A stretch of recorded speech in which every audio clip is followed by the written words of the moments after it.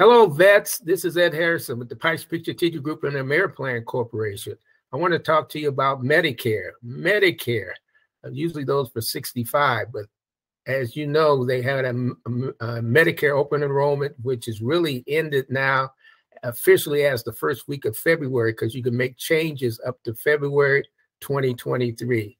Now, veterans in particular, I'm talking to vets that need dental plans. For some reason, you are not able to get a dental plan uh, and you qualify for Medicare, you might already have TRICARE, which is a great uh, uh, medical plan through the military, those of you who had retired or, or went out on disability, but you didn't get that dental plan. You didn't get that vision plan, and you're in need of that crown. You're in need of that extraction, the basic cleanings and x rays that your family needs.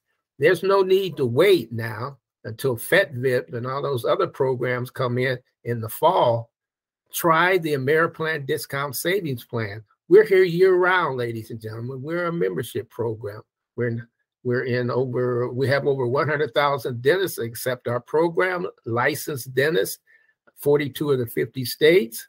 So those of you who did not get a dental say dental plan during open enrollment or the extended enrollment, which is in the first week of February, because the day is uh, February the 8th, 2023, there's still hope for you. There's still hope for you to save anywhere up to 60% on x-rays and cleanings and all these things you need to keep your teeth healthy.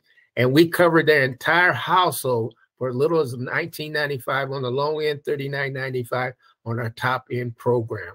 We are a month to month program. There's no contract to sign.